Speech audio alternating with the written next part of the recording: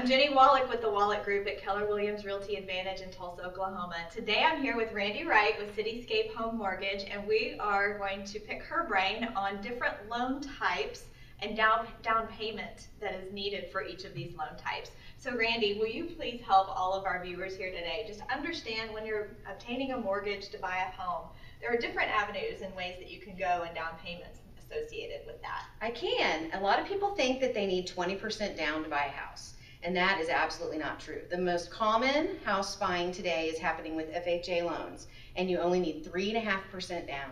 So, what that means on a $100,000 house, that's $3,500. So, you can get into homes for a lot less than 20% down.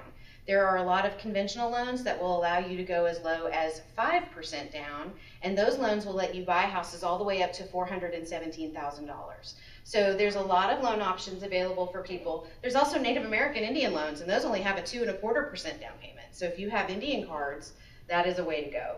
And there's rural development loans, which if you want to live outside the Tulsa city limits, you can have zero down.